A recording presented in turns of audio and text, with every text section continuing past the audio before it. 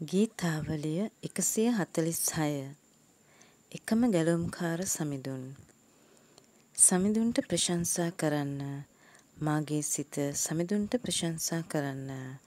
දිවි හිමියෙන් සමිඳුන්ට ප්‍රශංසා කරන්නෙමි. දිවි ඇතිතාක් මා දෙවිදුන්ට පැසසුම්ගී ගයන්නෙමි.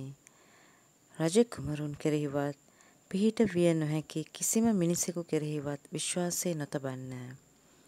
මිනිසා අන්තිම හුස්ම හෙලයි. පස්සට ආපසු හැරෙයි. එදිනම ඔහුගේ යෝජනා සුන් වී යයි. ජාකොබ්ගේ දෙවිදුන් සරණ පතන සිය දෙවි සම්දුන් කෙරෙහි බලාපොරොත්තුව තබන තැනැත්තේ වාසනාවන්තය.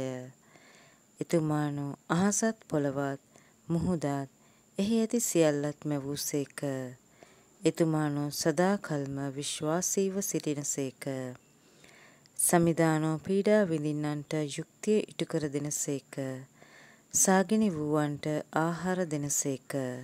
එතුමානෝ සිරකරුවන් මුදනසේක.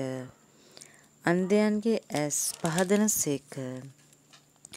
වැටී ගියවුන් නගා සිටවනසේක. සමිධානෝ දමිටුන්ට ප්‍රේම කරනසේක. විදේශීන් ආරක්ෂා කරනසේක. අනාථයන්ට හා වැන්දබුවන්ට උපකාර කරන සේක. එහෙත් දුදනාගේ යෝජනා සුන් කරන සේක. සමිධානු සදහටම රජගම් කරන සේක. එම්බා සියොන් නගරය ඔබේ සමිධානු සියලු පරම්පරා දක්වා රජගම් කරන සේක. සමිඳුන්ට ප්‍රශංසා වේවා.